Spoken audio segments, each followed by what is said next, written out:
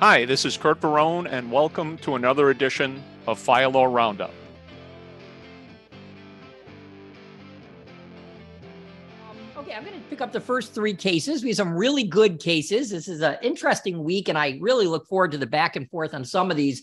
The first one, which is just interesting because we have seen this a number of times where EMTs are stealing. So now the FDNY gets hint that an EMT is stealing from patients and arranges a sting to set them up. So they the FDNY stages a person as a um, patient. They intentionally get the suspect dispatched to the call. They have marked bills of about $1,100 in the wallet.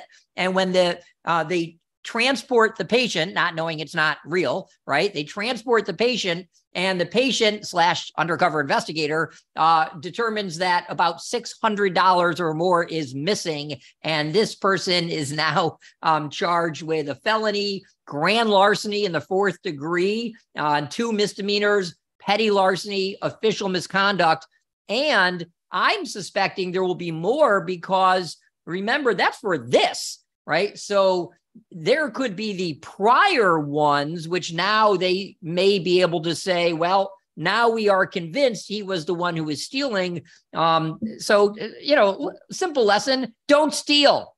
Yeah, no, absolutely. And, uh, but I, I think from a, from a leadership perspective, um, I've had to deal with this. I know some of my clients have had to deal with this. And as I travel around, many fire departments have had to deal with this. And the way it happens is, um, you're going along, you've had EMS, you never had a problem, and all of a sudden you get a you get a, a report that money's missing. You say, well, you know, maybe they are absent-minded and you know, in all the uh, stress from the uh, medical emergency that they have, and maybe they misplace it, or you, we write it off. Okay. Right. Well, no, it happens. I mean, yeah. you know, oh yeah, oh yeah, it is. Maybe you talk to the people, but whatever. Then another one, then another one, then another one. And I know uh, the ones I've been involved in, it ends up in a spreadsheet, and you start looking at, okay, where's the common denominator? yeah. and pretty soon, and I don't know, I can't say it's after five, after 10, after 15, but at some point, the spreadsheet comes out, you look at who's, and then, and now you're confronted with something.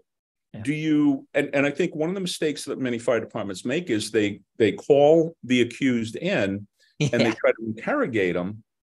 And somebody's going to be doing something like this is not just going to roll over. Um, I, you know, uh, the, we had, the one that I was involved in. This is, you know, kid comes from a, a hard criminal family. I mean, most of his relatives were at our ACI, and um, you know, so um, you, you know, he's not going to roll over. And uh, and you've got to also assume that when you catch him, if you try to do it on your own, if the fire department tries to set up its own sting, um, that he's going to pull out every uh, excuse in the book. Oh, I was I was taking it for safekeeping. I was afraid that uh, he may lose it given his mental status. They're, they're going to come up with all the excuses. So leave it to the professionals. okay, you leave it to the pros, the police in this case it was their department of investigations the new york city uh, Department of Investigations, which probably uh, handles more criminal cases than most police departments in the course of a day. And uh, you know, they were set up for it. They knew what they were doing. They had a they had a plan. They executed it, and uh, you know, yeah, um, that's what it is. So, but yeah. it, you're right. It happens all the time. Usually, elderly people, um, and we we tend to write them off. Um, yeah. Yet, knowing that people who are will prey on them, right? People mm-hmm. prey on the victims who we're not going to believe anyway because oh, but I I think you're right, and I think if you are an agency and you receive more than one, I think two is enough. You mm-hmm. better start looking. Well, you, got to investigate any. You have to investigate any, but of it's course, hard. Of course, it's hard. Like you call the people in and they go, "We don't know. I mean, we didn't do anything." You know, that's you right. know they're not going to just roll over on it but right. um, after you get the second one and the third one. And then you got to start looking at the common denominators. And just by looking at it, you may get it to stop. You may. I'm, I'm not, right. you know, not not an absolute, but by looking at. It. But if you just do well, you know, maybe it was this and maybe it was that. And um, sometimes we uh, we tend not to look hard at people who are high performers Um, who, uh, when you need somebody, it's two o'clock in the morning, somebody just went out on an injury or sick. Um, you know, they're They're the our ones favorite need person. We trust and- them. you know, and, and that's some of the, uh, that's some of the challenges, but, uh, we gotta be prepared for it. And in the cases I've been involved with, one hundred percent, it's been drugs. Hmm. One hundred percent.